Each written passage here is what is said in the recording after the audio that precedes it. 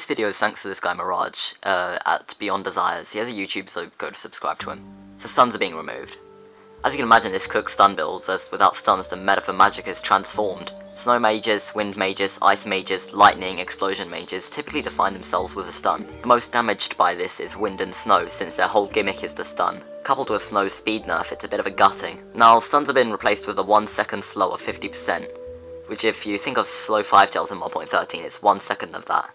So I'm not gonna lie, it's, it's rendered useless. Unless you have some big ass spells, it wouldn't be much different to their normal movement. So what matters will this bring in for Magic? For mages, I think we can all agree that Shadow, Light, and Glass, Glass because of their new Arcanium modifier affinities, will kind of dominate. Like, stat efficiency will be so much more important with no stun gimmicks to carry a magic. Conjurer is kind of similar, as Shadow becomes a superior Snow Conjurer, but Light and Lightning will be much more similar now, with Lightning getting a damage buff to counteract the loss of a stun. Wind Conj will just stay ass, unless they put its imbue damage up to 0.9. Ash Conj becomes a tragedy since it has a full second stun before, and now it's just kind of stuck as a mediocre class with nothing that stands out too much, being like a less extreme dense on imbue, with the minus 0.1 to Conjurer's imbue infinity size. Affinity size, the fuck? I think Light, Lightning, and Shadow will be the meta Conjurers. Obviously, Warlock will be much more complex since there's 120 combinations for it. But I think a lot of stun Warlocks are just OP regardless of the stun. Thermo's been hit pretty hard by the balance stock, so if the nerfs go through in their entirety, Thermo might just be cooked but for viable builds we're left with Iron Leg, Sailors and Basic. Since Boxing also got a speed nerf, which is also coupled with the overall attack speed nerfs, it's probably just gonna suck. So for Iron Leg, I believe Ice and Acid will be unfair good.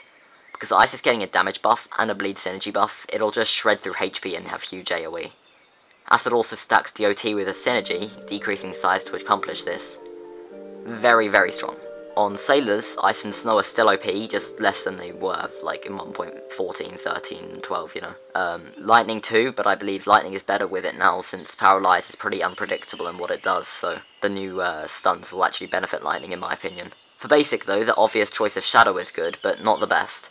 I believe Glass is actually the best choice for Basic, as it couples Basic strong stats with the DOT with no size, damage or speed loss. That's not even mentioning the Arcanium affinities with which Glass is just so overpowered. Any magic with strong stats works on Basic really though, so you should be all good. And for all the paladins out there, the best magic is the magic of brewing an interchange potion. Hope this video helps you build builds in Nimbus. Consider subscribing if you appreciated it.